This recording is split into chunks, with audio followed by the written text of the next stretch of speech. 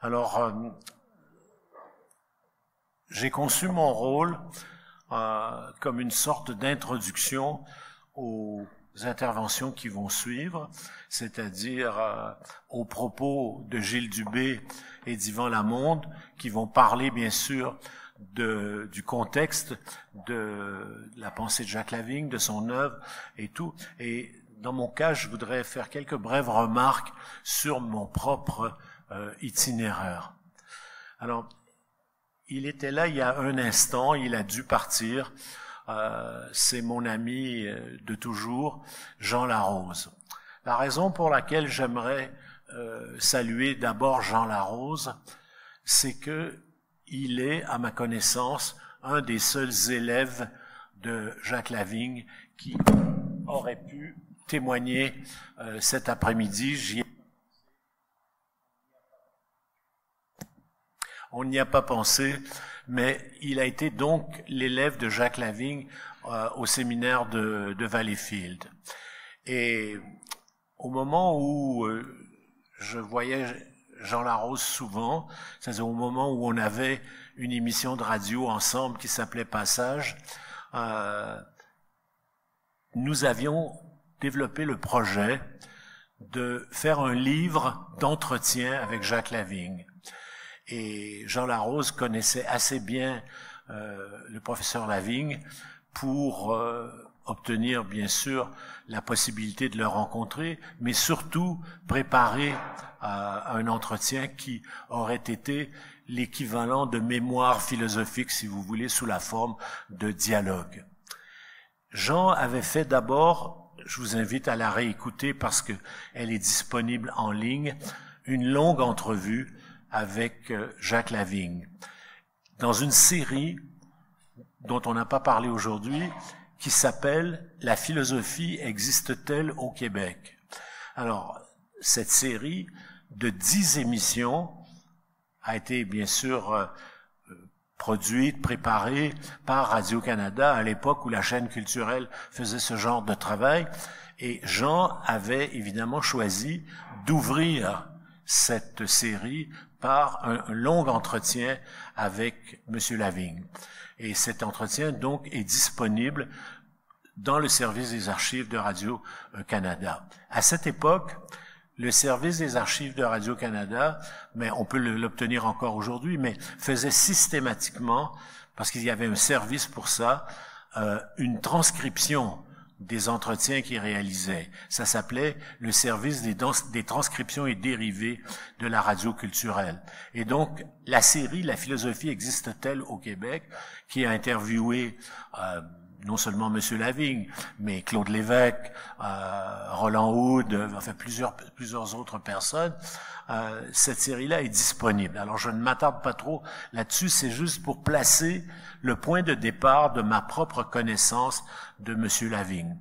Alors nous sommes allés, j'en arrive à mon deuxième item, nous sommes allés, Jean et moi, chez M. Lavigne sur la rue Fendal. À cette époque-là, M. Lavigne faisait des choses un peu étonnantes. Notamment, il était très généreux de sa bibliothèque. Ceux qui l'ont connu savent que Jacques Lavigne avait non seulement une très belle bibliothèque, mais que tous ses livres étaient entièrement reliés. Euh, la plupart dans une sorte de cuir noir très beau, et sa bibliothèque était aussi, portait un estampage à leur fin de tous les titres et de tous les noms d'auteurs. Et donc, euh, je ne sais pas si M. Lavigne, à ce moment-là, euh, sentait que sa fin était proche, euh, mais il donnait ses livres. Et comme vous savez, la plupart de ces livres ont été confiés ensuite à un revendeur, ce qui est une chose intéressante parce qu'on peut les trouver sur le marché. Mais le jour où Jean et moi lui rendîmes visite dans le projet de euh, faire ce livre d'entretien, eh bien, il nous donna euh, plusieurs livres. Et il a, fallu l'arrêter parce que il nous aurait donné pratiquement tout ce qui était là. Donc, il, j'évoque cette anecdote parce que elle était parfaitement symptomatique de deux choses. D'abord, de l'extraordinaire culture philosophique de Jacques Lavigne. Dans cette bibliothèque, dont je n'ai pas l'inventaire, bien entendu, mais dans cette bibliothèque, il y avait des sections complètes sur le scotisme, l'occamisme, l'histoire de Descartes, les travaux de Pierre Bell, enfin bon, une magnifique bibliothèque d'histoire de la philosophie qui était d'une richesse considérable. Sans compter, bien entendu, les philosophes qui étaient le plus près de lui, Bergson, bien sûr, la littérature, Proust et, et plusieurs autres. Donc, ça, c'est le premier point dont cette bibliothèque-là témoignait. Mais le deuxième point qui est très important pour moi, mais je pourrais en parler longtemps, mais je veux laisser surtout Gilles Dubé prendre la parole, c'est que la générosité de Jacques Lavigne est restée vraiment un souvenir durable pour moi de son beau visage se penchant vers Jean et vers moi, nous disant quelque chose comme est-ce que vous vous intéressez vraiment à ma pensée? Et il était absolument certain que sa pensée, en toute modestie, était pas quelque chose qui allait durer et qui, au contraire, il avait subi tellement de sévices, tellement d'exclusion, tellement de refus, tellement d'indifférence qu'il était impossible que même un étudiant brillant, aussi brillant qu'elle l'était à cette époque-là, Jean Larose, euh, pu même s'intéresser à lui. Euh, et donc ça, c'était quelque chose de très très beau, cette modestie, cette ouverture qui était très importante. Ce projet d'entretien autobiographique avec euh, Jacques Lavigne n'a pas pu être réalisé euh, pour une raison évidemment qui est un peu triste et que je regrette d'évoquer devant sa famille qui est, qui est ici, c'est que au moment où je pus le rencontrer en compagnie de Jean, euh, il était déjà un peu diminué, c'est-à-dire que il ne pouvait pas soutenir la conversation et il avait oublié souvent ce dont on venait de discuter. Et donc, il n'y a rien de grave là-dedans. Euh, on s'entend, mais pour moi, ça a été l'objet d'une déception énorme de ne pas pouvoir donner suite, poursuivre cet entretien avec lui. Et j'attribue à cette déception mon désir qui s'est matérialisé dans ce livre que vous avez entre les mains, de m'attacher à son œuvre et donc de, de, de donner suite. Alors ça, c'est le, le, le, le, point de départ, en quelque sorte, de mon intérêt pour l'œuvre de, Jacques Lavigne. Outre le fait, bien sûr, de la beauté et de la qualité du livre euh, en tant que tel. Alors aujourd'hui, euh, nous lançons cette réédition qui a pu compter sur le soutien de plusieurs personnes que j'aimerais remercier.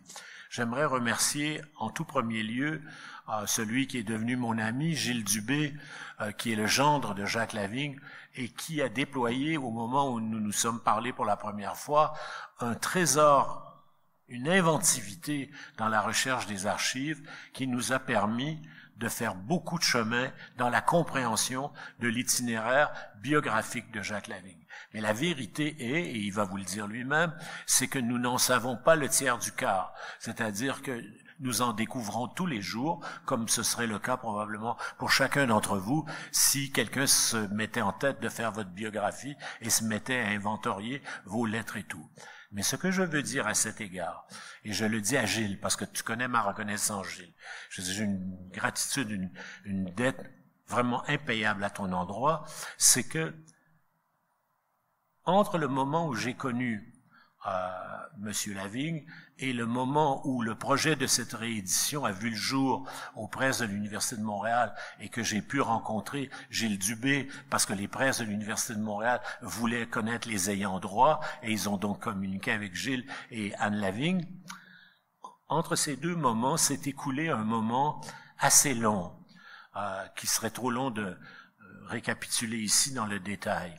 Mais je veux dire une chose, c'est que je savais, parce qu'on m'en en avait prévenu, que cet itinéraire allait être pour moi pavé d'embûches et d'obstacles infranchissables.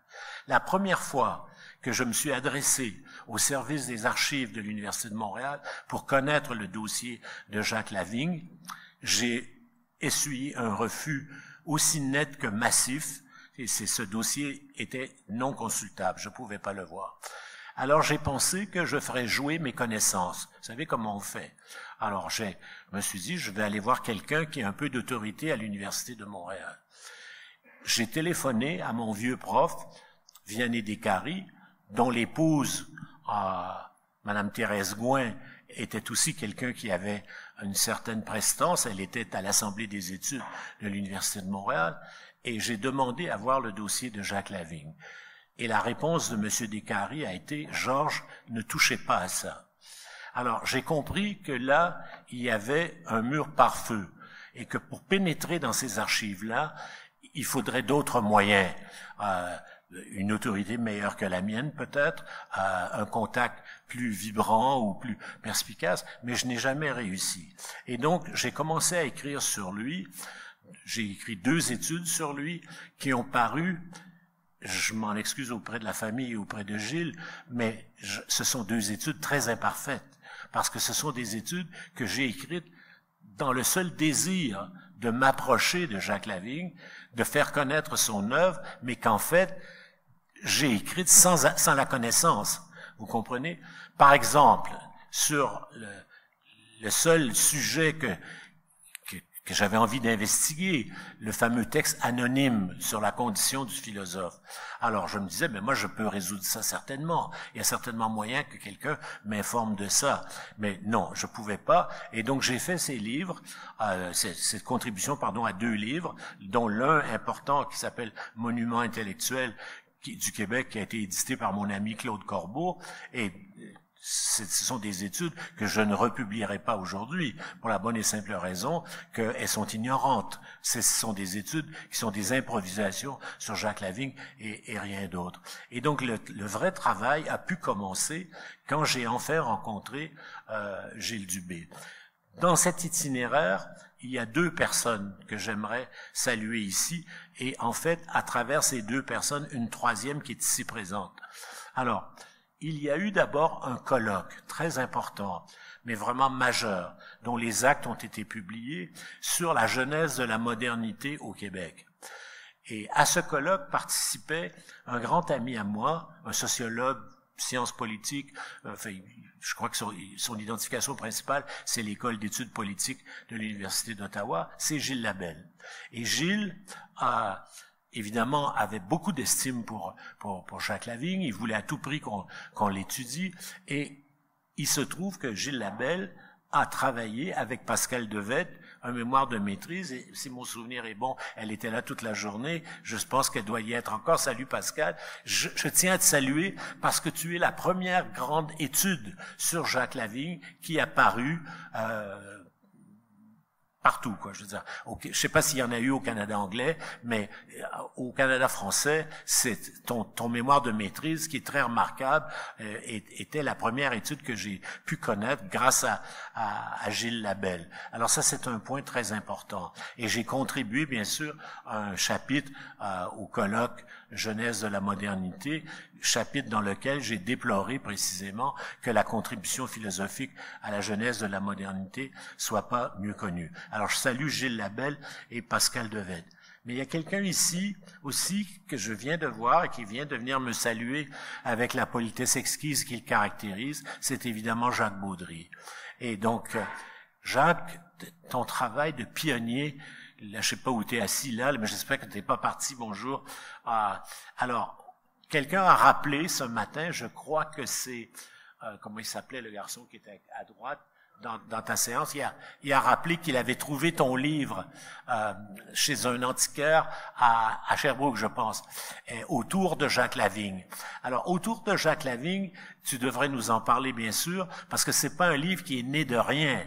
C'est un livre qui est né, on pourrait dire, l'expression est délicate, mais dans le sillage de l'anthropologie de Roland Hood, c'est-à-dire dans la recherche bibliocritique que notre professeur de l'Université de Montréal, qui évidemment était un fervent lecteur de Jacques Lavigne, avait ouvert et que tu as toi-même euh, labouré euh, pendant longtemps. Alors ce livre-là, qui est un livre un peu rare aujourd'hui, est un, assemblage d'extraits de l'inquiétude humaine, mais aussi de textes, on pourrait dire, euh, concurrents ou, de, élaborer la circonstance et tout. Et c'est un livre très très beau et qui évidemment nous a tous nourris. Yvan l'a lu, on l'a tous lu euh, ton livre. Et on a été, c'était la base de ce qu'on avait pour comprendre la pensée de, de, de Jacques Lavigne. Alors, j'en ai terminé de ma propre histoire, euh, qui comme vous voyez, plutôt banale, mais c'est l'histoire banale d'un lecteur qui est insatisfait, sur le chemin duquel on ne cesse de dresser des obstacles, et alors arrive l'invitation de mon bon ami Nicolas Lévesque et de Guy Champagne de l'Université de Montréal de donner à leur collection, et ces classiques québécois, une réédition de, l'œuvre du, du beau livre de, Jacques Lavigne, donc l'inquiétude humaine. Invitation que je me suis empressé d'accepter. Aujourd'hui, je dirais pas que je le regrette. Non, j'en suis très flatté, très heureux, très fier. Je suis content d'avoir fait ce travail et je, vraiment les heures que ce travail m'a coûté ont été des heures bénies. Vous savez quand vous travaillez sur quelque chose, que vous comptez pas votre temps, que vous êtes content d'être proche de votre objet, que vous savez que cet objet est important et que dans l'histoire intellectuelle du Québec, voilà quelqu'un qui a compté et qui ne cesse de dire des choses essentielles. Mais une chose est certaine, c'est que c'est le hasard des circonstances biographiques de mon propre itinéraire qui m'a mis dans la position qu'on me trouve apte ou compétent pour faire cette édition, alors que assis à cette table est quelqu'un qui l'aurait fait beaucoup mieux que moi euh, et beaucoup plus, comment dire, de manière beaucoup plus compétente. Et j'ai nommé bien sûr euh, Gilles Dubé. Alors, j'ai communiqué avec Gilles à quelques reprises. Mes premiers contacts avec lui m'ont montré que non seulement il était déterminé à fouiller l'archive, chantier où il s'est avéré un négociateur expert et il a obtenu encore récemment des archives du Collège Jean de Brébeuf qui étaient quand même des archives sous-scellées pendant longtemps, en plus des archives de l'Université de Montréal qui ont fini par être libérées, les archives, par exemple, du dossier Lavigne euh, au syndicat des professeurs et à l'association des professeurs de l'Université de Montréal. Si on veut savoir quelque chose des raisons qui ont conduit à l'exclusion de Jacques Lavigne, ce qu'on ne sait toujours pas vraiment encore, hein, parce qu'il y a beaucoup d'hypothèses, Gilles va nous en parler, eh bien, il faut à tout prix lire ces archives, les constituer mieux et surtout méticuleusement travailler à les interpréter.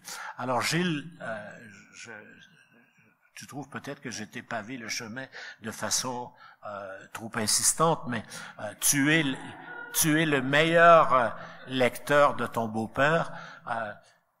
comme j'ai eu l'occasion de te l'écrire, j'ai cru un moment avant de te connaître que je m'engagerais dans une biographie de Jacques Lavigne, parce que j'ai tellement aimé ce que j'ai senti de l'homme à travers le, livre, à travers ce que Jacques Baudry en particulier en a fait connaître, euh, que je, je me suis dit, ben je vais, je vais en faire plus.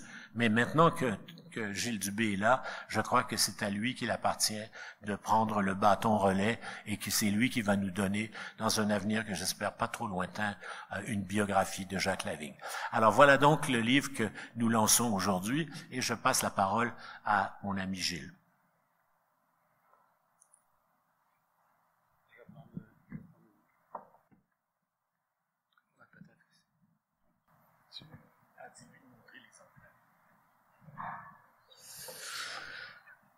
Oui,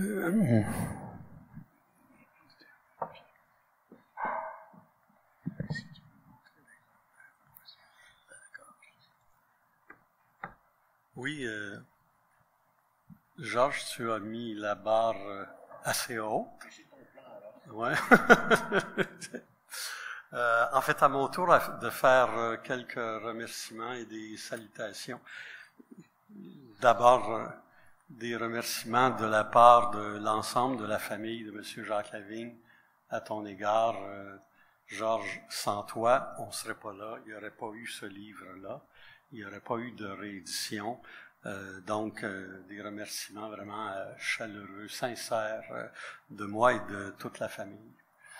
Je veux aussi remercier les presses de l'Université de Montréal qui ont accepté de publier cette, ce livre-là 70 ans plus tard. Euh, dans la belle collection euh, Essais classiques du Québec, euh, d'autant quand on sait que Jacques Lavigne a quitté l'université, de manière, en fait, a été exclu de l'université. Donc, c'est une douce revanche pour lui et pour sa famille d'être réédité au PUM. des salutations, en fait, il y a une bonne partie de la famille des, de Jacques Lavigne et de Françoise Maillet qui sont ici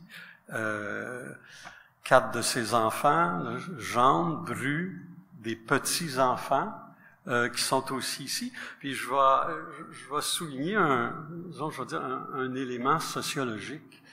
Euh, la descendance de Jacques Lavigne et de Françoise Maillet euh, n'est pas tombée très loin de l'arbre.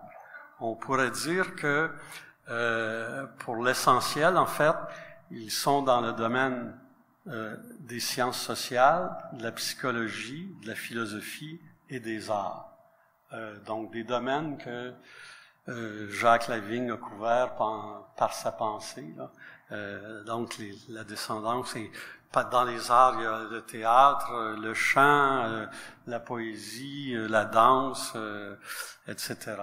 Et donc je, les, je veux les saluer aujourd'hui.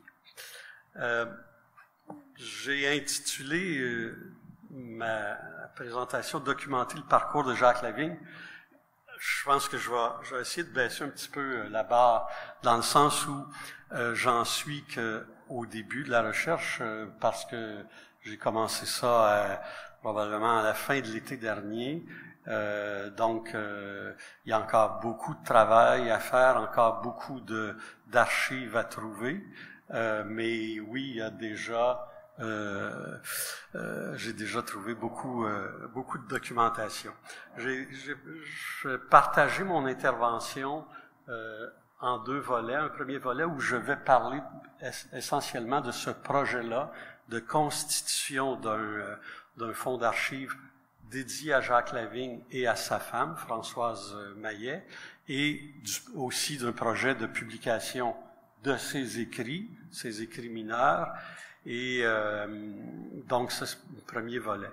Euh, deuxième volet, je veux évoquer avec vous cinq moments particuliers euh, du parcours de Jacques Lavigne, de son parcours professionnel et intellectuel.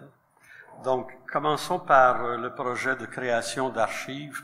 Euh, Bibliothèque et Archives nationales du Québec se sont montrés très intéressés à recevoir un tel fonds. Euh, moi, donc, depuis des mois, je suis en train de le constituer. Euh, j'ai consulté plusieurs fonds euh, institutionnels, euh, mais je veux souligner d'abord, tu en as parlé tout à l'heure, Jacques Baudry est ici, et je veux souligner la générosité de Jacques Baudry, que j'ai rencontré la semaine dernière, qui est venu à la maison avec deux immenses sacs de documents qui devait peser euh, une, demi-tonne. Euh, et euh, en fait, Jacques m'a remis toute sa documentation sur Jacques Lavigne et de Jacques Lavigne qu'il recueille depuis une quarantaine d'années. donc, il m'en a fait don et ce sera déposé dans ce fonds d'archives-là. Un grand merci, euh, Jacques, pour, euh, pour ta, ta, générosité. Et va suivre aussi euh, euh la correspondance de, de, Jacques Lavigne. Et on verra, ça aussi, ce sera déposé euh, dans ce fonds-là. de mon côté, j'ai fait plusieurs démarches, puis comme tu l'as évoqué, le, les archives du Collège Jean de Brébeuf euh, là, j'ai trouvé une petite mine d'art. Dans le fond, j'ai trouvé euh, de la correspondance entre les autorités du collège et Jacques Lavigne. Euh, que ça fait, il y a peut-être 4 ou 500 pages de correspondance et ce sont essentiellement des lettres, de la correspondance de Jacques Lavigne aux autorités du collège. Donc pendant ça couvre la période 1952 à 1964. Euh, donc, on, peut suivre Jacques Lavigne à travers ça, mais il y a une importante partie de la correspondance qui couvre la période où il a été en chômage euh, entre 61 et 64. le documentaliste là-bas été d'une ouverture extraordinaire. Il m'a permis de, on a reproduit, c'est numérisé, tout ça. L'autre découverte que j'ai faite dans ce euh, à Brébeuf, en fait, c'est un dossier euh, que M. Lavigne a constitué en 1959 pour sa défense euh, dans le cadre des démêlés qu'il avait avec euh, l'Université de Montréal. C'est un dossier de, de, 40, de, 47 pages dans lequel il fait une chronologie des événements, euh, dans lequel il a inséré euh, la correspondance transmise et reçue et dans lequel il fait une analyse de euh, la situation, des arguments qui ont été évoqués, tout ça. Donc ça, c'est un document unique parce que je ne l'ai pas retrouvé à l'Université de Montréal. Euh, je ne sais pas pourquoi, mais il n'est pas dans les archives de l'Association euh, des professeurs. Et ça, va être un, des éléments majeurs pour mieux connaître euh, la situation de Jacques Lavigne à l'Université de Montréal. Donc, euh, il y a toutes sortes d'autres euh, fonds d'archives que je vais que je vais continuer de, de, consulter, notamment chez les jésuites avec lesquels M. Lavigne avait de nombreux de nombreux contacts. voilà pour le premier. Je ne m'étendrai pas plus sur la constitution du fonds d'archives là, mais c'est euh, un travail énorme, là, probablement j'en ai encore pour quelques mois pour faire euh, le tour de la question. L'autre volet, ce serait de publier euh, les écrits qu'on peut appeler les écrits mineurs de M. Lavigne. Il a publié euh, au cours de sa vie une soixantaine d'articles dans des revues, dans des euh, dans les journaux, euh, qui sont connus pour la plupart, euh, qui sont dans la, qui étaient dans la bibliographie de Jacques Baudry, qui sont dans, qui sont annexés à l'inquiétude humaine. moi, ce que j'y rajoute, c'est un certain nombre d'articles que M. Lavigne a publiés dans Photojournal, journal populaire que possédait le beau-père de M. Lavigne. Et donc, pendant six ou huit mois, Jacques Lavigne a écrit un certain nombre d'articles, essentiellement sur les arts, qui sont relativement intéressants. Euh, donc ça, avec euh, avec ces autres articles, ce sera intéressant de les publier. Devrait aussi être inclus dans cette publication-là les trois entrevues qu'il a accordées entre 1981 et 1991, dont l'entrevue avec euh, Jean Larose. J'ajouterais aussi euh, peut-être un certain nombre de témoignages euh, euh, d'étudiants, parce qu'il y a de très nombreux étudiants qui ont témoigné de son enseignement, surtout au collège de. Là, mais ça, ce sera intéressant aussi que ce soit que ça puisse être publié. Et j'ajoute en fait, il y a un certain nombre d'inédits que j'ai trouvés dans des archives, entre autres un texte sur le libéralisme euh, qui est possiblement un cours qu'il a donné euh, en 52 ou 53, euh, un texte qui est une opinion sur l'enseignement de la doctrine sociale de l'Église, qui date peut-être du début des années 50. il y a les notes de cours de Roland Hood que Jacques Baudry m'a données, qui sont peut-être à publier. Donc, il y a vraiment tout un corpus de textes qui, sont qui sera intéressant de publier avec euh, une édition commentée. Et le dernier volet, bien sûr, euh, ça pourrait être une euh, biographie intellectuelle de M. Lavigne. à cet égard-là, j'ai deux, deux avantages et deux inconvénients, ou deux désavantages. je suis son genre et je suis sociologue. Voici les deux avantages. Les deux inconvénients, je suis son genre et je suis sociologue. Euh, je vais probablement solliciter, en fait, et Georges et Jacques Baudry m'ont euh, m'ont assuré de leur collaboration dans euh, dans ce travail de biographie intellectuelle. Euh, oui, j'aurais besoin de vos de vos éclairages. Voilà pour le, premier volet dont je voulais vous parler, euh, donc ce projet de constitution d'un fonds d'archives et de publication. Maintenant, je veux aborder euh, cinq moments particuliers du parcours euh, intellectuel de, de M. Lavigne en lui donnant la parole à l'occasion et en faisant parler euh, des gens qui l'ont qui l'ont connu.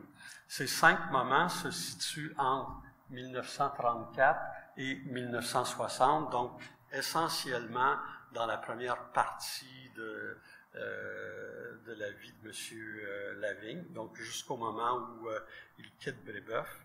Et c'est à partir d'informations que j'ai découvertes dans les archives que ça nous permet un peu d'éclairer différemment le parcours de M. Lavigne.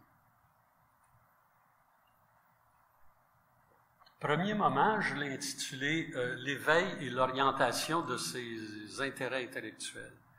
Euh, à quelques moments, monsieur, à quelques occasions, M. Lavigne a parlé du rôle de son père, de, l'influence de son père sur ses, euh, ses, questionnements intellectuels, sur son orientation.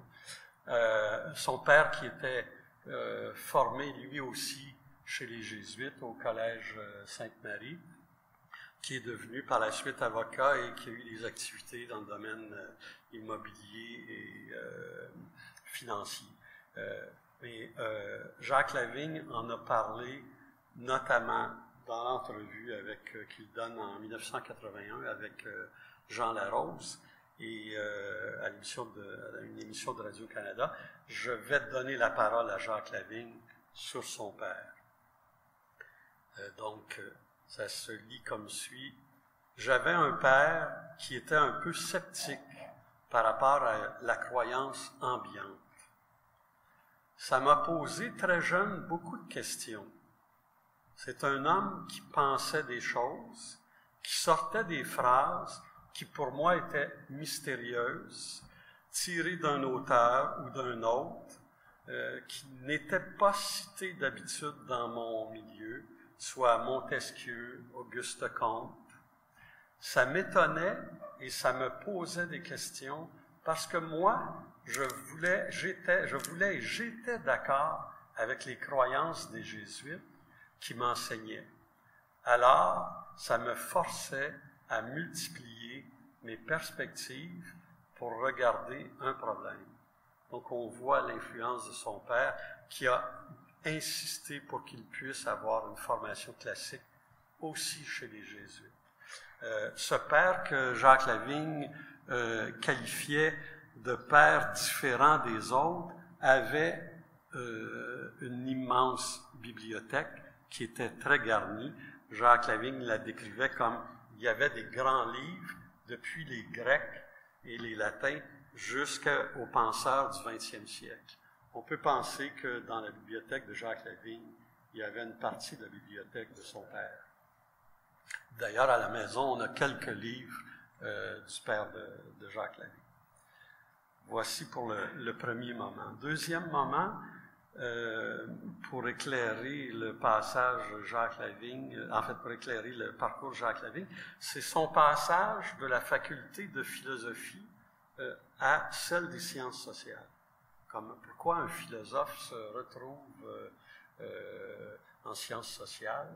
Donc, euh, petit élément historique, Jacques Lavigne termine Brébeuf, s'inscrit d'abord au HEC, il n'y reste pas, il s'inscrit ensuite en philo, il obtient sa licence en philosophie en 44 et il commence à enseigner en 45 euh, à l'Université de Montréal, la philosophie, euh, comme chargé de cours. Il est prof à la leçon à ce moment-là. Il enseigne à l'école des vétérans, à la faculté de, musique, à la faculté de philosophie, euh, mais il est toujours chargé de cours.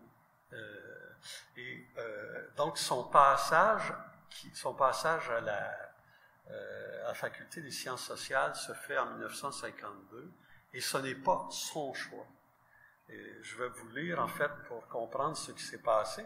Euh, c'est une nouvelle règle euh, d'engagement des profs à la faculté de philo qui l'incite, le pousse à aller euh, en, aux sciences sociales. Donc, je vais, vous, je vais vous citer un extrait du procès verbal de la commission des études de l'Université de Montréal qui date de août 1952 et où on parle de Jacques Lavigne. Ancien chargé de cours de la faculté de philosophie pendant six ans, au traitement de 450 dollars par année, Jacques Lavigne se voit éliminé par suite d'une décision récente des autorités de la faculté de remplacer les profs à la leçon par du personnel plein temps. Il ne lui reste qu'un enseignement à la faculté des sciences sociales.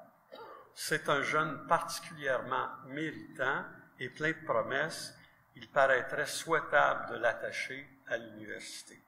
Euh, ce qu'on lui offre, c'est un poste euh, de secrétaire de la faculté des lettres. J'ai pas réussi à savoir encore s'il a occupé ce poste-là, mais il a continué à enseigner euh, à la faculté des sciences sociales. Donc, c'est dans ces conditions-là où on le retrouve à la faculté des sciences sociales. Pour vous donner une indication du type de cours qu'il donne à ce moment-là, euh, deux titres. Un titre, le premier, libéralisme, socialisme et marxisme dans les années 50. Et euh, autre, autre titre, origine philosophique de la pensée sociale contemporaine donc deux titres de cours qu'il donne en sciences sociales. Il poursuit, euh, donc, il devient, il enseigne à temps plein dans cette faculté-là.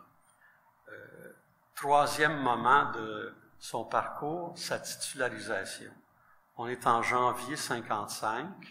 Euh, il enseigne à temps plein dans cette faculté-là et il fait sa demande de titularisation au doyen de la faculté et à cette époque-là, c'est Esdras Mainville, l'économiste Esdras Mainville, qui est en même temps aussi euh, directeur des HEC. Euh, il va obtenir, Jacques Lavigne va obtenir dans une année ou à peu près plus tard, il va obtenir sa titularisation. Mais pour l'obtenir, il écrit. Donc, il fait sa demande à euh, Esdras Mainville, une lettre d'une page et demie ou environ. Je vais vous lire euh, un extrait de cette lettre-là qui m'apparaît assez unique en son genre. Donc, Jacques Lavigne qui écrit. Sans doute est-ce un signe du caractère essentiellement social de la nature humaine que l'homme ne puisse entièrement goûter le fruit de son travail si la société n'en vient consacrer l'utilité, la valeur et la constance. Les titres universitaires joue ce rôle pour les professeurs de l'enseignement supérieur. Celui qui en est conscient n'en appartient pas moins à cette humanité qui en subit l'attrait. Monsieur Lavigne continue. J'ai 35 ans. Je suis professeur à l'université depuis 10 ans. Je suis docteur en philosophie. J'ai publié ma thèse chez Aubier à Paris. En plus de reconnaître tout cela, la titularisation me permettrait d'espérer un traitement plus élevé. Il faut bien quelquefois m'attarder à ces considérations économiques, puisque j'ai cinq enfants et j'en aurai bientôt six. Voilà le cœur de sa lettre pour demander sa titularisation. Euh, disons que les mœurs sont assez différents aujourd'hui. Euh, pour obtenir un tel poste. Je, tenais à vous lire, c'est suave, et ça illustre aussi euh, déjà le symbolisme est un élément, est une préoccupation qu'il a à ce moment-là. quatrième moment dans son parcours, c'est la publication de l'article Notre vie intellectuelle est-elle authentique? Il publie ce texte-là dans le Devoir le 22 novembre 1956. C'est un texte qui est un texte phare, c'est un texte qui est encore connu, auquel réfèrent euh, encore euh, des philosophes, et certains se, disent qu'il est encore d'actualité, ce texte-là. Euh, je ne veux pas attirer votre attention sur le contenu de l'article, mais sur l'état d'esprit dans lequel il est au moment après l'apparition de, de ce texte-là. Et pour connaître cet état d'esprit-là, il reçoit une lettre euh, du père Paul Vanier, qui, a été son mentor à Brébeuf du temps de ses études et qui l'a initié à la pensée du philosophe Maurice Blondel. Et le père Vanier, à ce moment-là, il est recteur à Brébeuf. Donc, euh, Jacques Lavigne répond euh, à la correspondance de Paul Vanier. Euh, il lui écrit ceci. J'ai reçu avec beaucoup de joie votre appréciation de mon texte. Je vous avoue, Père Vanier, comme vous pouvez l'imaginer facilement, que la forme de ma pensée et le point de vue qui l'inspire m'enferment, malgré moi, dans une certaine solitude. Mais il suffit de se sentir soutenu, encouragé par quelqu'un dont on estime à la fois l'intelligence et le cœur pour que cet isolement apparaisse comme un don. Et il poursuit. Euh, déjà dans ma jeunesse, mon orientation intellectuelle était bien différente de celle de mes amis et de mes contemporains. Mais j'avais un père Vanier qui était ma confiance et mon existence, mon public et mon lecteur. Ce que vous appréciez aujourd'hui, je le dois beaucoup à cette sécurité d'autrefois.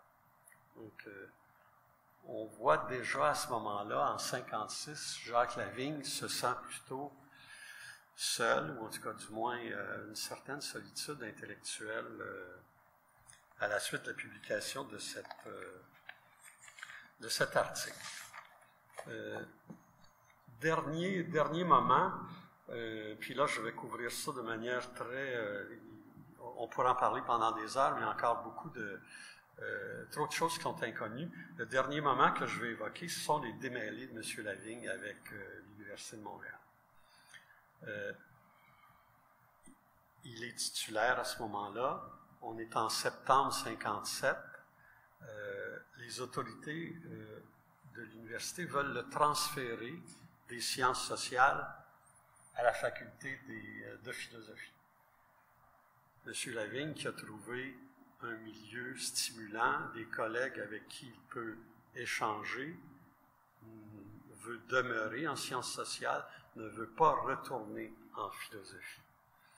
Euh, dès ce moment-là, dès l'automne 57, son collègue, le sociologue euh, Hubert Guindon, s'inquiète de ce transfert-là, euh, donc du transfert en philosophie, et il écrit une très, très longue lettre au doyen, qui est un nouveau doyen à la faculté des sciences sociales, à savoir le sociologue Philippe Garrigue. Donc, Hubert Guindon lui écrit, cette lettre-là est éloquente sur la place euh, qu'occupe Jacques Lavigne dans la faculté et sur l'espace intellectuel qu'il occupe euh, auprès, de, auprès de ses collègues. Je vais vous lire un très court extrait d'une lettre qui a trois pages. Donc, euh, Hubert Guindon qui écrit à Philippe Garrigue, Depuis le mois de septembre 1957, M. Lavigne fait partie de la section de sociologie. Pour moi, personnellement, son départ serait une perte sérieuse à cause de la stimulation intellectuelle qu'il est pour tous, de l'inspiration qu'il est pour ses collègues dans leurs propres travaux, d'un chercheur en voie d'élaboration d'une pensée personnelle. Et de plus, son départ ne pourrait pas ne pas affecter le rôle que les fondateurs de la faculté ont sans doute voulu lui indiquer en insérant dans les cadres de l'enseignement une part de philosophie sociale. Il n'y a évidemment pas de personne mieux qualifiée que M. Lavigne pour remplir cette fonction, comme le témoignent ses écrits et l'orientation de sa philosophie. Euh, donc, on voit là, comment euh, Hubert Guindon euh, déplore la situation de, de M. Lavigne à ce moment-là. Je, l'ai dit, on pourra en discuter, en parler longuement. Là. M. Lavigne a fait des démarches pendant 18 mois pour se maintenir à la faculté des sciences sociales. Il rencontre le recteur, Monseigneur Lucie, à plusieurs occasions. Il rencontre même euh, l'ancien recteur, euh, monseigneur Olivier Moreau, il en appelle du cardinal Léger. il, y a peu de choses qu'il n'a pas fait pour sa défense. Ses collègues l'appuient. il y a un vote à la faculté à un moment donné. majoritairement, ses collègues l'appuient, mais il va devoir quitter l'université. Euh, il a déposé une plainte euh, auprès du syndicat. Pour le syndicat, c'est un peu inusité. C'est c'est un syndicat qui existe à peine depuis cinq ans. M. Lavigne avait été le premier secrétaire de ce syndicat-là pendant deux ans. Euh, bon, le syndicat décide de créer un comité composé de professeurs de toutes les facultés pour analyser la situation et déposer ça aux autorités euh, on, se donne à ce moment-là l'échéance de déposer le, document du syndicat le 1er mars auprès des autorités. Euh, le 23 février, le recteur, Monseigneur Lucier, court-circuite cette démarche-là euh, et il envoie, il transmet par courrier une lettre à Jacques Lavigne dans laquelle il l'informe que son contrat se termine le 1er juin euh, et qu'il ne sera pas euh, reconduit. Son contrat se termine le 1er juin avec salaire, euh, mais qu'il doit quitter son bureau dans la semaine qui suit, chose qu'il va faire. Et Jacques Lavigne ne retournera jamais enseigner à l'Université de Montréal. quelques mois après son exclusion, il écrira ce qui suit dans, le document dont j'ai parlé tout à l'heure, le document euh, que j'ai retrouvé dans les archives euh, du Collège Brébeuf. Euh, il écrira ce qui suit. Tout au cours de, d'autres documents qu'il qui a déposé auprès du syndicat, tout au cours de cette histoire, j'ai réclamé la justice et la lumière et n'ai pas hésité à déposer tous les faits en ma possession même ceux qui eussent pu m'être défavorables. Je considère que mon travail de penseur m'oblige à scruter tous les arguments présents. Je n'ai jamais refusé, mon histoire intellectuelle le prouve, de faire une enquête objective. Des arguments sérieux m'eussent convaincu, je n'en ai point trouvé. Euh, c'était l'introduction de, ce, du document dont je vous ai parlé. Euh, on pourrait imaginer, puis j'en ai régulièrement parlé avec ma conjointe, euh, Anne, quelle vie, quelle carrière aurait eu M. Lavigne s'il avait pu poursuivre euh, sa carrière universitaire à la Faculté des sciences sociales, où il aurait eu un, un, environnement stimulant, il serait devenu philosophe de la culture, sociologue de la culture, euh, peu importe, mais il aurait eu une carrière tout autre que celle qu'il a eue. Mais il a tout de même persévéré. On sait tous, il a eu quatre ans de chômage euh, par la suite. C'est-à-dire qu'il a enseigné pendant deux ans à Brébeuf et par la suite, il a eu quatre ans de chômage. Et euh, il a enseigné au, séminaire et au collège de Valleyfield ensuite, de 1965 à 85. Donc, pendant une vingtaine d'années. C'est là où il a publié euh, ses deux derniers livres. Euh, compte tenu du temps qui m'était imparti, je pense que je vais m'arrêter là. Mais pour conclure, euh, j'ai retenu le regard que portait Françoise Lavigne, Françoise Maillet, donc la, femme de Jacques Lavigne, le regard qu'elle portait sur lui à l'automne 1944 tous les deux, ils sont dans, au début de la vingtaine. Ils se connaissent depuis quelques mois.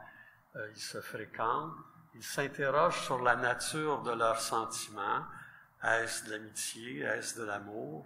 Euh, et donc, euh, ils, se connaissent relativement bien. Françoise Maillet tient un journal à ce moment-là et elle écrit à propos de Jacques Lavigne ce qui suit j'ai la conviction que le monde a besoin de types comme lui, de ces rêveurs qui se disent penseurs, de ces poètes qui se disent philosophes et qui sont peut-être les véritables amis de la sagesse, en tout cas les champions de la pensée humaine. C'était le 22 septembre 1944, il y a presque 80 ans. J'espère vous avoir fait entendre et voir un peu le penseur qu'a été Jacques Lavigne. Merci, merci.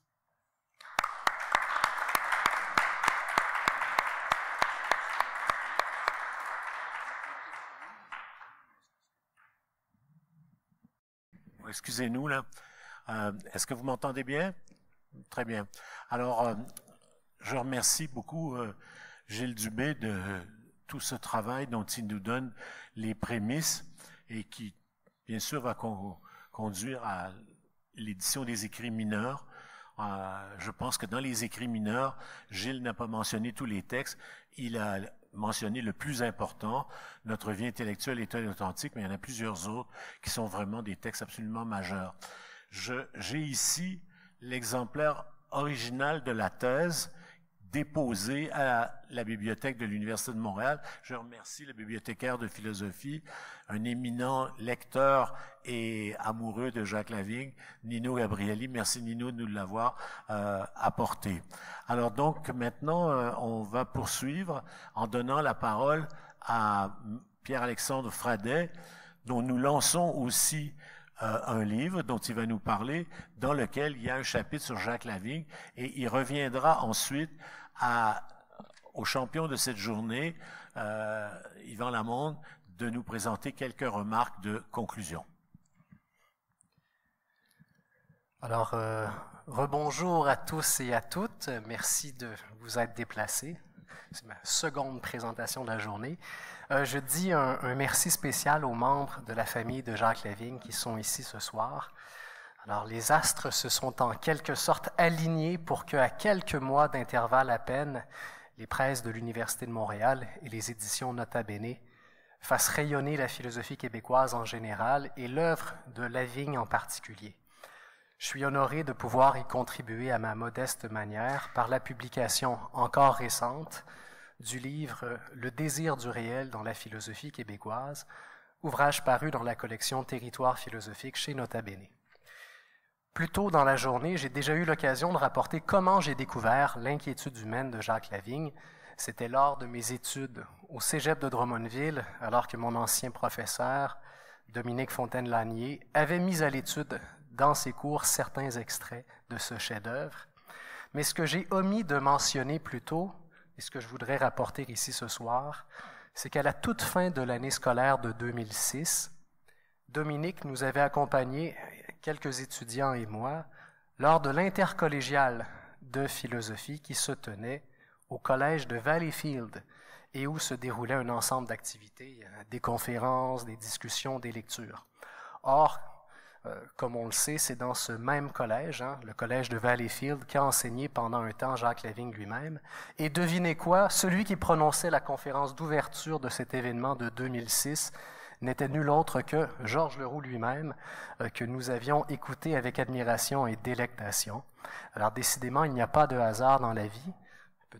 Autre petite anecdote, j'ai appris récemment que mon propre fils, Noé, euh, va à la garderie avec l'arrière-petite-fille de Jacques Lavigne, euh, Aude Gionnet Lavigne, qui est, qui est la fille de, Thomas Gionnet, euh, de, qui je suis moi-même devenu ami. Alors, il n'y a pas de coïncidence, il n'y a pas de hasard dans la vie. Et un jour, peut-être que Noé tombera amoureux et qu'ils formeront un couple. Et avec un peu de chance, je pourrais dire que je fais partie indirectement de la famille de, de Lavigne. Alors, c'est mon rêve secret. Bon. Cette anecdote étant rapportée, j'en viens à mon ouvrage proprement dit. Euh, comment, en moins de 15 minutes, résumer un livre de quelques 250 pages? Euh, tout d'abord, en disant en quoi il ne consiste pas. Au moment d'écrire le désir du réel dans la philosophie québécoise, j'ai voulu offrir une caractérisation de la pensée québécoise tout en me tenant à égale distance de deux tentations excessives. La première tentation correspond à ce qu'on pourrait appeler le folklorisme identitaire. Elle consiste à prétendre relever des caractéristiques pittoresques essentielles à travers lesquelles on pourrait arriver à un portrait robot figé de ce qui est en fait souple et en devenir, la philosophie québécoise. Car non, on ne trouvera pas dans mon livre une énumération de traits identitaires caricaturaux par lesquels je prétendrais dévoiler une soi-disant essence philosophique québécoise fixe. La seconde tentation que j'ai voulu éviter est le pendant négatif de la première. On pourrait la nommer la dissolution identitaire. Elle consiste à prétendre que parce que tout phénomène est mobile et pluriel, labile et instable, il n'y a strictement rien à dire de ce phénomène. Cette tentation me semble excessive puisqu'elle interdit de repérer non seulement toute forme de constante, mais encore toute forme de tendance, c'est-à-dire toute particularité capable de donner un fidèle aperçu des préoccupations théoriques d'une communauté donnée à un moment donné dans un espace donné. Pour éviter ces deux tentations excessives, le folklorisme identitaire et la dissolution identitaire, j'ai donc tenu à utiliser en conclusion une expression wittgensteinienne afin de définir les particularités que je crois repérer dans la philosophie québécoise. Et cette expression est celle d'air de famille. Elle me permet de dégager des préoccupations originales et fécondes au sein de la métaphysique au Québec et de faire comprendre que la philosophie québécoise ne se réduit aucunement à ces préoccupations. Quel a été mon objectif général? Il a consisté à faire ressortir à la fois quelques ressemblances et quelques différences entre les réalistes spéculatifs et les cinq philosophes québécois que, j'aborde, c'est-à-dire Charles de Coninck, Thomas de Coninck, Jacques Lavigne, Charles Taylor et Jean Grondin. Ces auteurs ont vécu tantôt avant, tantôt pendant, tantôt après la Révolution tranquille, tous autant qu'ils sont ils ont contribué à leur façon à réaliser la philosophie au Québec. En tirant au clair divers parallèles entre ces penseurs québécois et le réalisme spéculatif, j'ai eu pour but non pas de créer une alliance forcée, mais plutôt d'expliquer dans quelle mesure un dialogue est permis entre eux. Cette démarche m'a conduit à jouer sur deux plans à la fois. Premièrement, parce que j'ai tenté de montrer que certains philosophes québécois devancent les réalistes spéculatifs par leur affirmation d'un certain accès au réel en soi, c'est-à-dire le réel tel qu'il est indépendamment de notre pensée, de notre langage, de notre culture, j'ai cherché à rendre palpable le caractère novateur, singulier et préfigurateur du corpus québécois. Loin d'être en retard sur la grande histoire occidentale, la philosophie québécoise prend de vitesse certains moments de cette histoire quant au problème de l'accès au réel. Et expliquer ce point m'a conduit à m'intéresser davantage à l'apport intellectuel de chaque auteur qu'à son contexte social ou biographique. Autrement dit, mon livre représente plus une réflexion sur l'histoire des idées philosophiques que sur l'histoire des contextes sociaux au Québec. On pourra certes me reprocher d'opérer une certaine désincarnation de l'activité philosophique, mais la méthode adoptée m'apparaissait susceptible de faire communier le corpus québécois avec l'histoire universelle, sur le plan intellectuel en tout cas. Deuxièmement, si j'ai tenu à faire ressortir aussi divers points de désaccord entre les réalistes spéculatifs et les réalistes québécois, c'est parce que je souhaitais maintenir la spécificité de chacun d'entre eux tout en étudiant leur fécondité et leurs limites propres. Il aurait été sans intérêt de suggérer que les réalistes spéculatifs et les réalistes québécois défendent des thèses identiques en tout point. En plus d'être erronée, cette suggestion aurait condamné les penseurs québécois à être tout au plus l'incarnation historique d'un moment doctrinal, le moment réaliste, qui sera appelé tôt ou tard à s'user et sous l'effet d'un retour du balancier à laisser la place à un autre moment. À mon avis, euh, il y a infiniment plus dans les philosophies des auteurs québécois qu'un simple appel à renouer avec la connaissance du réel, comme on le voit en somme euh, chez certains réalistes spéculatifs, Graham Arman notamment. Mais cela dit, on me demandera à présent, mais quelles sont donc les airs de famille, les caractéristiques réelles, mais en même temps souples, de la philosophie québécoise le, le, temps dont je dispose ici m'empêche d'entrer dans certains détails, mais je les synthétise brièvement en cinq points. Alors, première ère de famille, un désir incontournable de connaître le réel au-delà de sa finitude, d'où résulte une critique du constructivisme. C'est principalement autour de ce point que les penseurs québécois devancent les réalistes spéculatifs.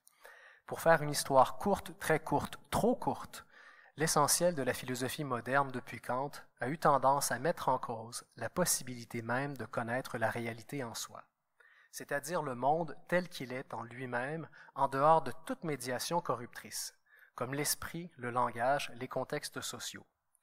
Même si l'on voit subsister dans les pensées post-kantiennes certaines conceptions de l'objectivité et donc du réel, ces conceptions ont la particularité de s'intéresser plus aux moyens subjectifs par lesquels on connaît le monde qu'au monde lui-même. On le voit notamment chez Hegel, Husserl, Wittgenstein, Nietzsche, Foucault, Derrida, Judith Butler et combien d'autres. L'aspect novateur des philosophes québécois me semble donc venir de ce qu'ils expliquent, chacun à sa manière, qu'il est impossible de faire l'économie de toute conception ontologique, c'est-à-dire d'une vision de ce, que, de ce que sont les choses mêmes. Et à preuve, lorsque Platon distinguait jadis entre le monde sensible et le monde intelligible, il prétendait caractériser la réalité, ni plus ni moins. Lorsque le commun des mortels prononce des phrases telles que la porte est fermée ou le chat est sur le paillasson, il prétend s'exprimer sur le monde tel qu'il est. Lorsqu'un militant environnementaliste s'enchaîne à un arbre pour en interdire la coupe, il agit en fonction d'une certaine connaissance de la nature, donc du réel. Lorsqu'un constructiviste affirme que tout savoir est construit, il prétend que la réalité elle-même relève d'une pure construction. Ce serait donc à tort que l'on penserait rompre avec toute forme de présupposés ontologiques ou métaphysiques. En aucun temps on efface l'ontologie ou la métaphysique, mais on les remplace. Par conséquent, tous ceux et celles qui croient devoir abandonner le concept même de réalité me semblent tomber dans ce que j'appelle dans mon livre, page 46, la fausse modestie. Ils prétendent aspirer à connaître autre chose que le réel, tout en continuant eux-mêmes à chercher ce réel, à le viser, à le caractériser. Autrement dit, ils prétendent à tort pouvoir ne rien prétendre au sujet du réel. N'est-il pas plus cohérent et plus modeste dans ce cas de reconnaître notre inextinguible quête de réalité? C'est du moins l'une des hypothèses de mon ouvrage. Passons à présent au secondaire de famille reliant entre eux certains philosophes du Québec, il s'agit du recours habituel à un langage ordinaire ou peu technique, ce qui témoigne d'un certain souci démocratique de concrétude.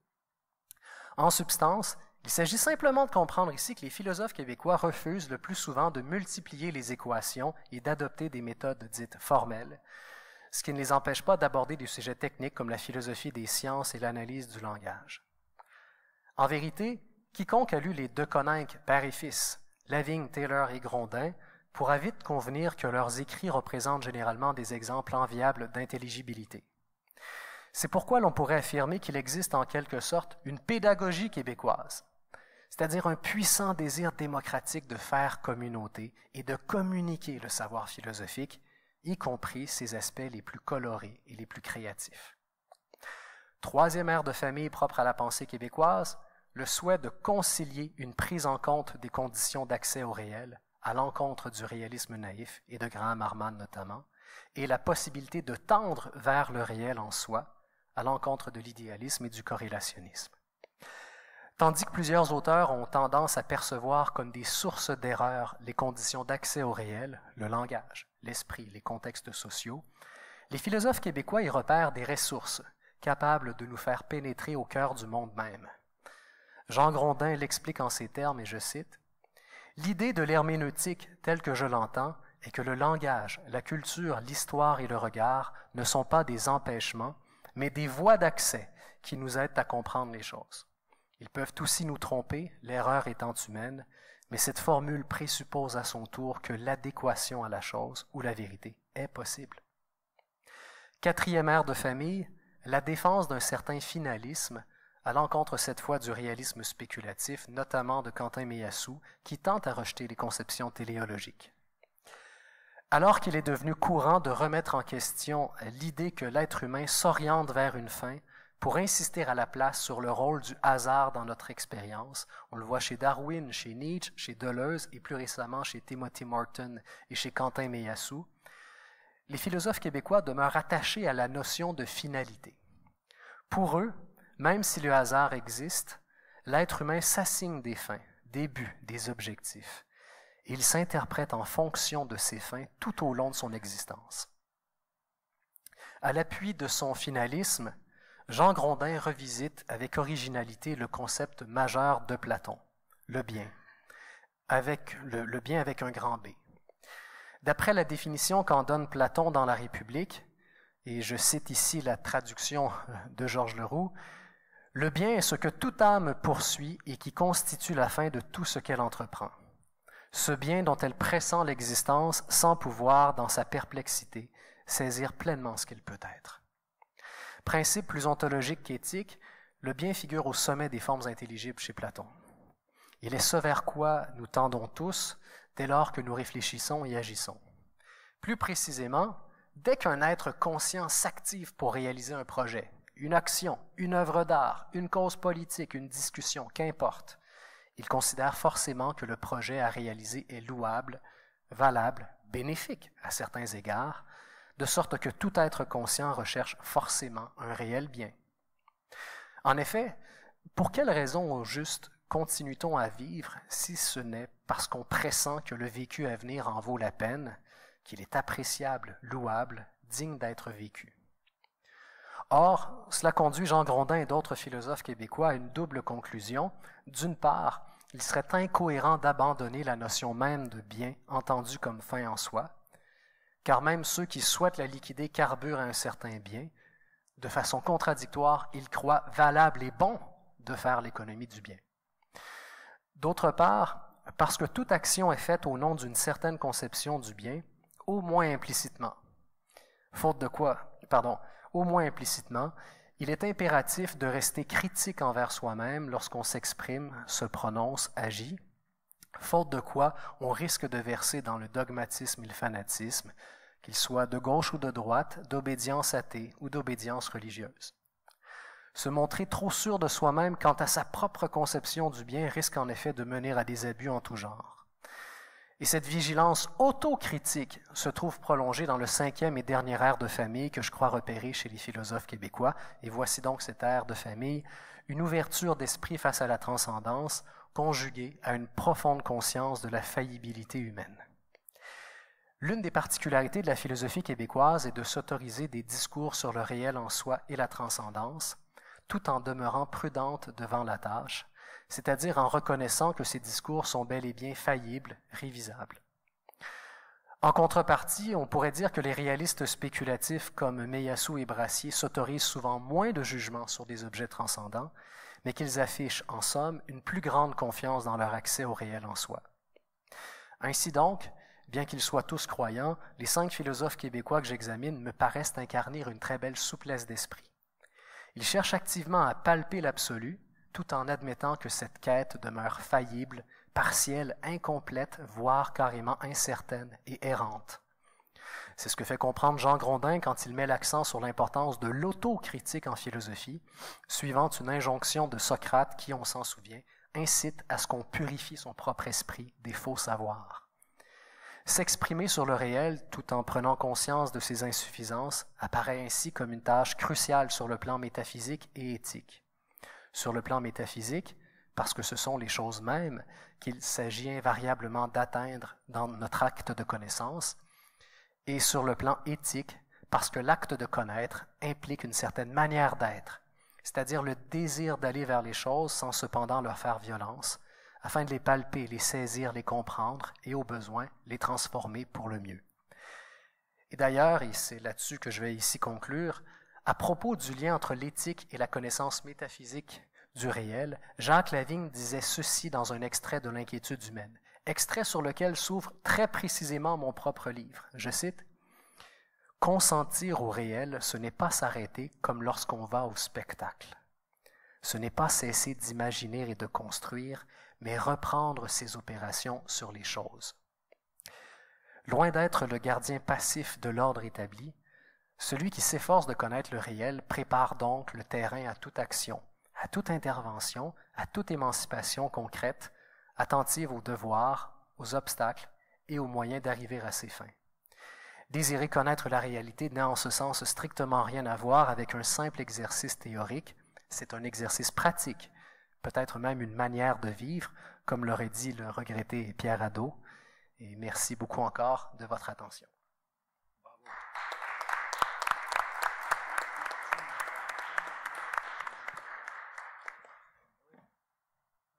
Maintenant donner la parole à euh, Yvan Lamonde et de mon côté, je vais m'éclipser pour euh, laisser Jean-Claude Simard et Jean-Guy Meunier s'installer à la table.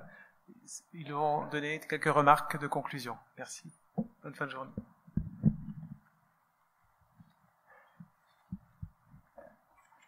Alors, pour ceux qui ne me connaissent pas, je suis historien de, des formations et euh, historien des idées en particulier historien de la philosophie au Québec depuis le 17e siècle, mais surtout jusqu'en 1920. Euh, heureusement, grâce à Georges et davantage éventuellement grâce à la biographie intellectuelle euh, que M. Dubé euh, fera,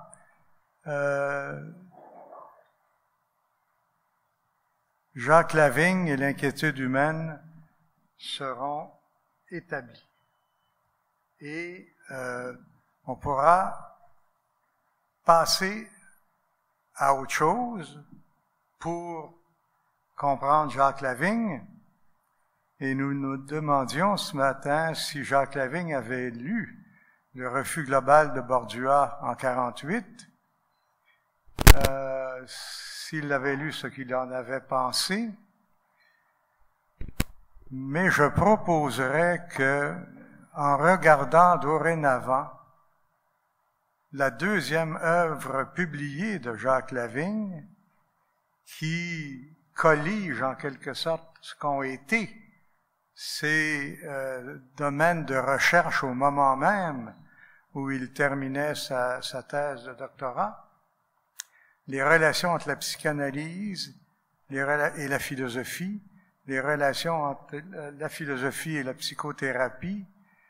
Euh, J'émets comme hypothèse que on comprendra là, au-delà des démêlés de la vigne avec le Collège Brébeuf ou avec l'Université de Montréal, on comprendra comment il y a pu y avoir un refus global en philosophie, et ce refus global ressemblerait à l'originalité profonde que représentait l'exploration des, des relations entre la philosophie et la psychanalyse.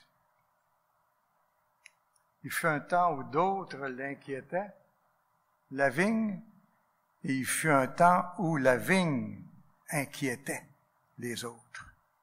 Alors merci d'avoir été là, euh, en partie ou en totalité de, de la journée. Euh, et je laisse maintenant la parole à, à Jean-Claude Simard et ensuite à Jean-Guy Meunier qui se présenteront, euh, s'auto-présenteront. C'est le meilleur moyen de présenter.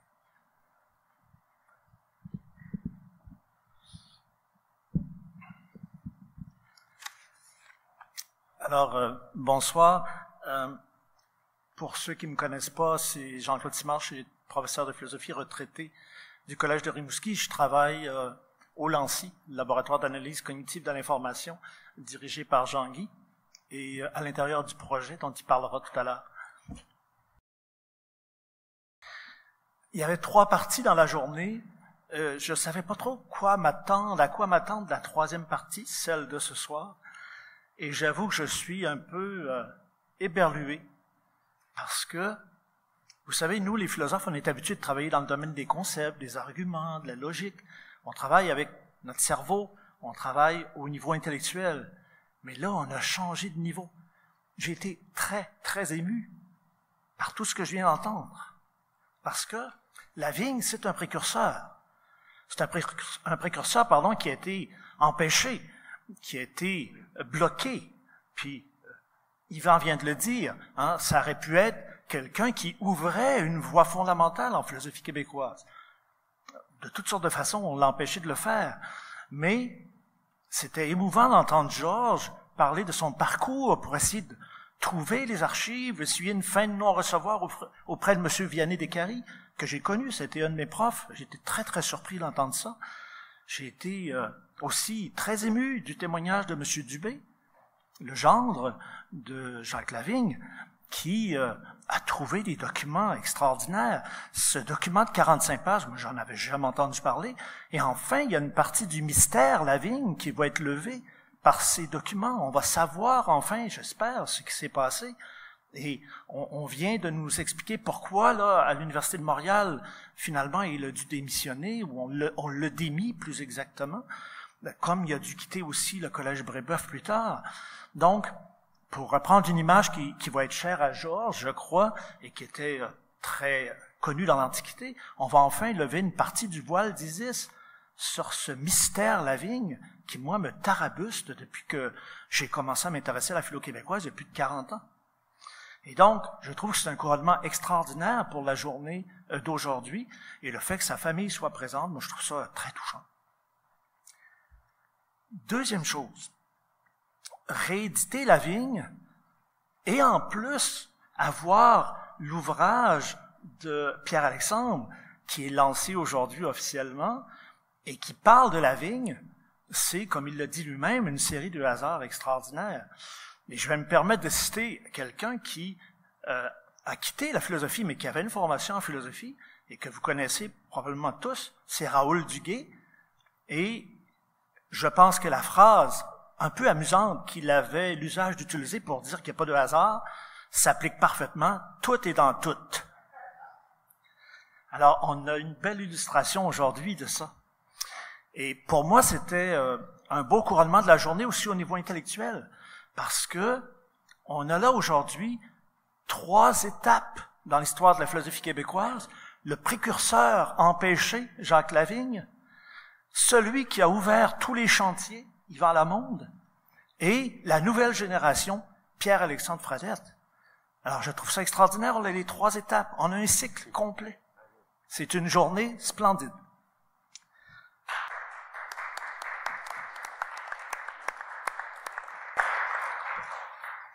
Et j'ai été ému aussi de voir l'exemplaire original de la thèse de M.